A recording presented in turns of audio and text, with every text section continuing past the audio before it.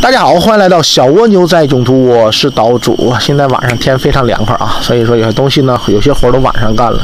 然后刚刚整理了一下，整理了一下，就是我后面呢，可能呃，老爸老妈就在家玩了，然后我自己开着前车出去玩了，然后也要整理一些东西，因为之前嘛，东西很多都是放在那个拖挂房车里的，拖挂房车空间比较大嘛，那前车呢，可能就是呃储空间没那么多，所以说我而且是一个人出去玩嘛，一个人出去玩呢，可能就不需要那么多东西，然后尽量精简一些。然后刚刚整理了一下，然后也给大家一个参考，就是我们这种小的 B 型房车出去玩要带哪些东西，然后尽量精简。如何精简啊？首先呢，就是这个花露水啊，啊，然后这种室外的蚊香啊，这个无论就是呃是床车、帐篷还是房车，这个一定要带的啊。因为这次是玩了大半年才发现还有这种产品，户外的蚊香，以前不知道，特别好用。然后花露水啊，你的那风油精啊都要带的。然后还要带的就是这些药了，就是发烧的呀，啊感冒的呀，还有这个云南白药创口贴呀，还有这个碘伏啊、维生素啊等等啊，一些日常的这种啊常备的药品要带着的。呃嗯，烧水壶。要有一个，然后暖水瓶要有啊，这种的像这种水壶啊、水瓶啊，都是防摔、防磕、防震的啊，不会很娇贵。还有啥？这次去我还带了个风扇，这个风扇是无敌的好啊，给大家看一下，看到没？就是这样一个风扇了，然后它是带电池的，可以充电的。嗯，还可以摇头的，开一下。嗯，可以调角度，摇头也可以啊。大概好像花了一百七八十块钱，五伏的电就可以啊，USB 充那个插口充电的。然后还可以升高，关键是它是非常的便于携带，你看到没？嗯，所以这种风扇我们要带一个。然后就是吃的东西了，锅带一套。这次我带这个锅，因为一个人出去嘛，它比较省事儿，所以说吃的东西也不用很复杂。我去，这个明天要刷一下。这个锅是好久好久没用过了，这个还是很早期玩床车的时候带的呢。想不到现在又用上了，看到没？这个放起来，刚才看到了，它很小，很省地方。然后呢，这是一个一个炒菜的锅啊。哇，这里有很多的这个。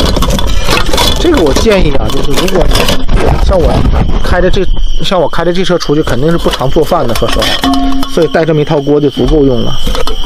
啊，这个很大的，你洗菜也行啊，然后。做个汤锅也行，都可以做个蒸锅也可以，都套在里面。哇，它这里面还有一个小锅，太富裕了，看到没？也是个小汤锅。这还有一个小锅，哇，太……这就是一个牛奶锅啊。这明天要洗一下，太久不用了。每次我都不太敢开这个东西，为啥呢？我感觉我每次把它开完之后，我都不能把它很好的装回去。啊，都有盖儿啊，是啊，赶紧把它装回去。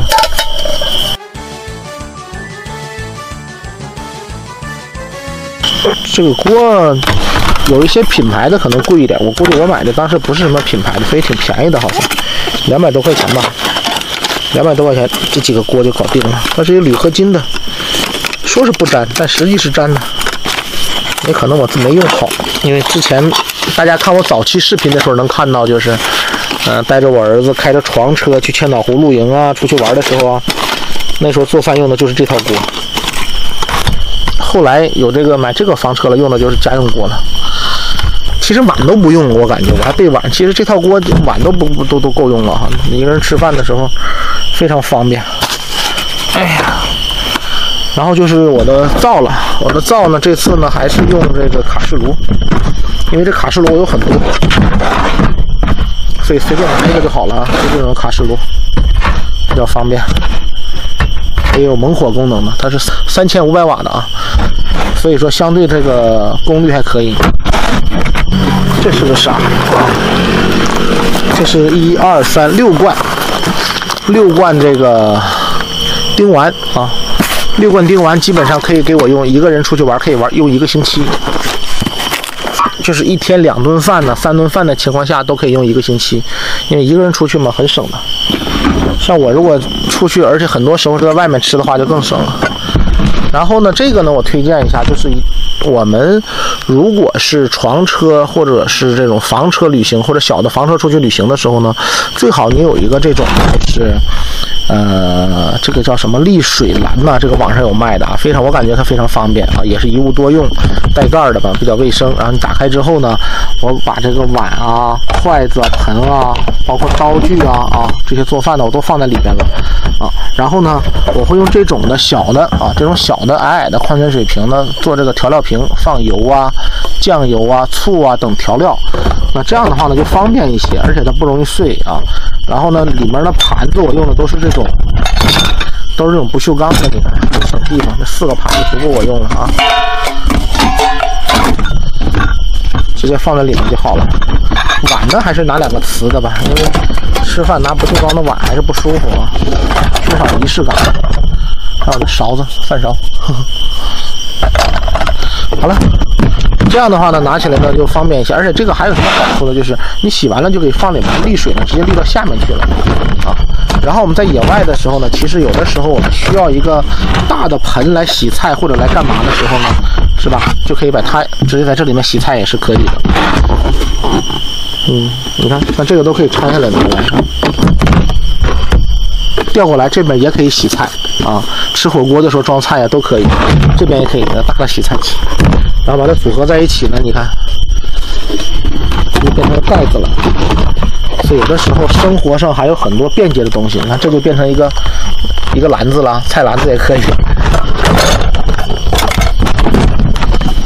就这些了。那现在呢，大家看到了，我这次出去玩，基本带这些东西就可以满足我日常的一个。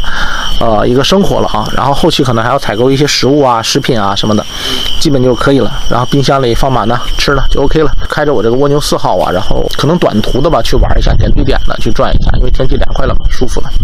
省内嘛，先先省内嘛，因为如果一旦去省外了，你这个行程码有变化了，回来当地办点事情又不是很方便啊。毕竟特殊时期嘛，所以可能嗯，在那个浙江省内啊玩一下。好了，今天的视频就到这里了，希望岛主把自己的一些。装备的经验分享啊，能够帮助给大家。然后喜欢房车生活的小伙伴也可以关注一下我的微信公众号“小蜗牛在囧途”。我是老主，一直在路上，拜拜。